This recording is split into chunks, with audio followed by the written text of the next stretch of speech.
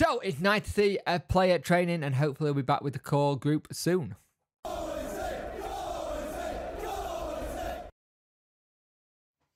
Hello and welcome to this video. You could like, share and subscribe to the channel. I much appreciate it. Liking helps the algorithm, sharing gets in front of people facing and subscribing let me know you like the channel. Hit that notification bell to let you know when video go live. So, it's no secret really, is it, that Marvin Johnson has had a terrible time of it this season. Uh, for whatever reason, he fell out with uh, him and Xisco either fell out or Xisco was just really poor at man managing the situation and he basically just didn't get picked. So it's interesting that people are now seeing like went to this thing on Twitter today where they said, Hey, tell me who you want to see pictures of and we'll post it. And there was a lot of for Neymar. Uh Neymar Neymar uh kind of thing. And obviously they did. And the thing is, you look at it and people going, Oh, why are they not training with the first team? It's like he's not been ruled out or anything like that before people jump the gun. What basically is he got to work with the sports science person to get his levels up to the fitness. He's not played a lot of games.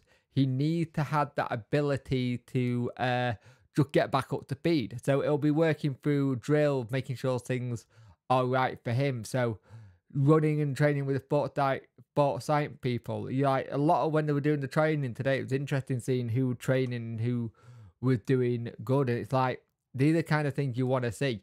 You want to see the likes of um, Marvin Johnson now coming back into fitness and being ready to go just in case they're called upon because everybody now has a clean sheet. You look at uh, young Ciaran Brennan. Brennan might have a chance to get into that back lineup now because of that as well. So I think this is a really smart thing that you're getting him back up to speed. He went off to Dubai to do a bit of his own training and now he's back with the club trying to see where he can get his training back and where he should be, where he should be training on the pitch every day. He shouldn't be having to not like be able to come in and train. He should be allowed to train at the club and do what do his job. So hopefully this puts him in good stead to start looking at possibly playing some games in the near distant future. And we're going to need it in the next couple of games because it's it. I think next week is a Saturday. I don't know Saturday, Tuesday, Saturday games.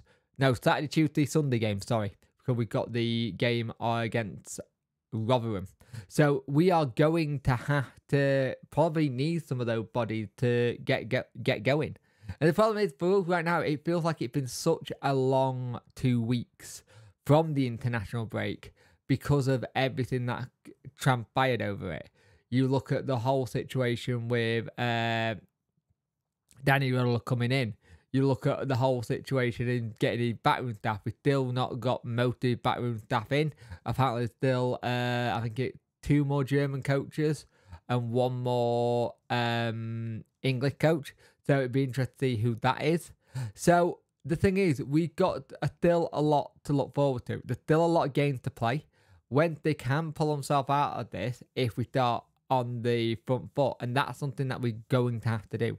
We're gonna have to start on the front foot, and we're gonna have to uh, maybe rely on some of the old guard, as they say in air quotes, to try and get us out of some of the situation. But seeing Marvin Johnson back training, it can can only be good news in terms of bodies and needed to get him playing. Now, the thing is, he isn't registered yet. He might be registered sooner than later. Uh, but then you got to think, what do you do? Do you leave uh, Johnson out or do you leave Momo Diaby out, who you're playing a loan fee for? And um, so I don't know. I don't know who you will probably leave out, but we'll see. We'll see what happens. But Marvin Johnson is back in the ground in the training ground training.